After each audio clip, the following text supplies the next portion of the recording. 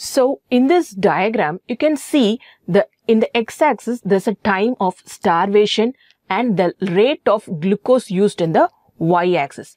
So at the zero hour, you are taking the dietary glucose. That means you are eating food in the morning or lunch or during the dinner. So that is the time when we are eating. So the glucose level is very high here. The blue line shows the exogenous dietary glucose which you are eating. So this comes down within a 6 hours period.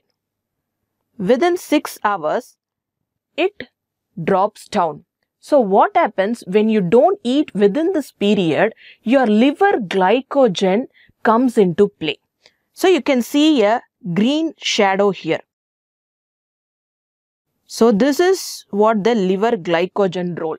So when the exogenous dietary glucose is utilized in your body, when the curve drops down, the liver glycogen comes into play and it starts rising. Because the liver glycogen store means it gives glucose to your body. The glycogen store depletes and give glucose to your body and maintains the blood glucose level.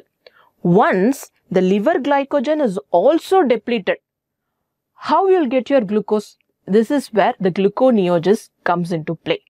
Here you can see a violet graph here. This one.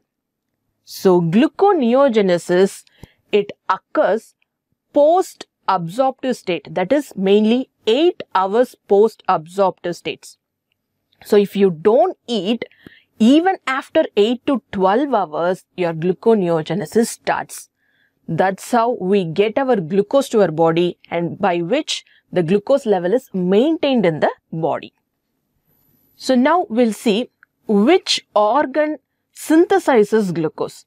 It is mainly seen in liver. 90% of the gluconeogenesis takes place in liver. So organs which helps in gluconeogenesis means it is mainly liver. 90%. Whereas in the intestinal cells and kidney, it is 10 percentage.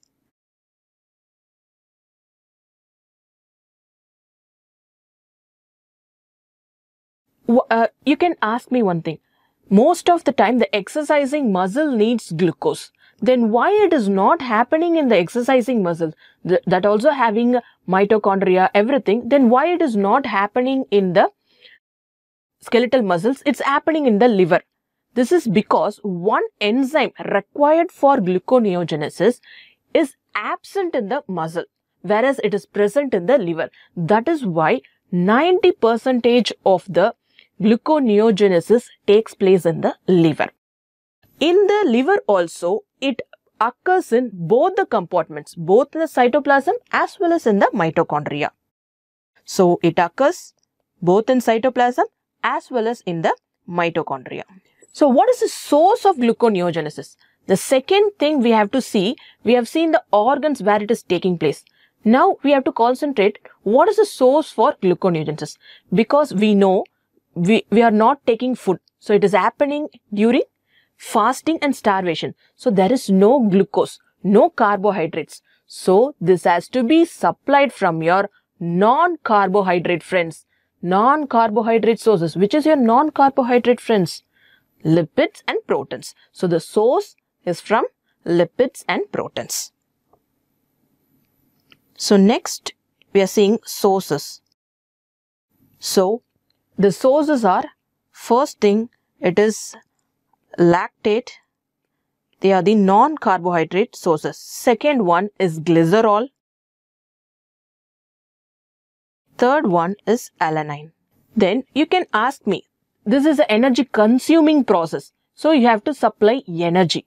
We have given the sources. Then who is going to give the energy? Energy.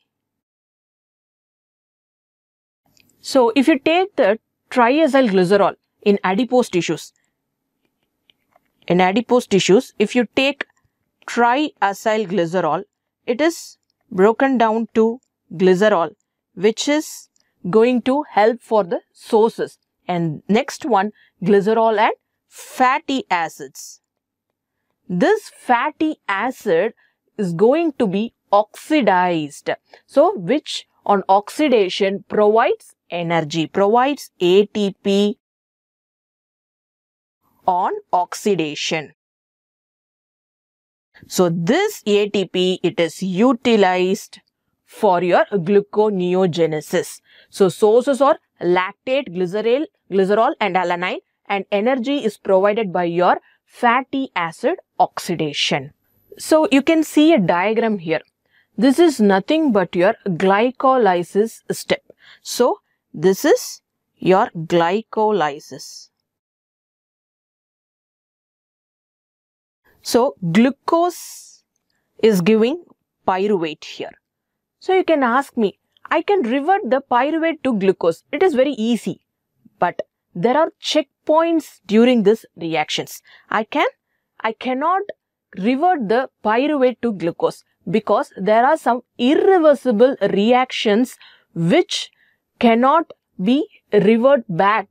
So, they are nothing but your hexokinase step, phosphofructokinase step and last one pyruvate kinase. So there are three kinase enzymes. What are they?